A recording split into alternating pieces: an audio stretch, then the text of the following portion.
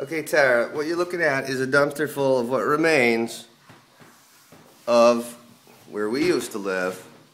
And now, this would have been where the TV was. That would have been over into the kitchen and that opposite that corner.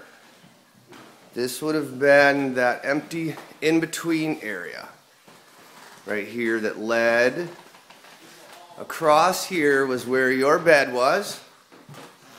This is where your bed was, right up against there. That's where I went to Liquors 44. And now it's an office full of shit and tools. That and bathroom did not exist. So I just figured it would be really exciting to show you what happened here, okay? Now this would be out into the main hallway again and out to the street. Okay, Ta. See you later.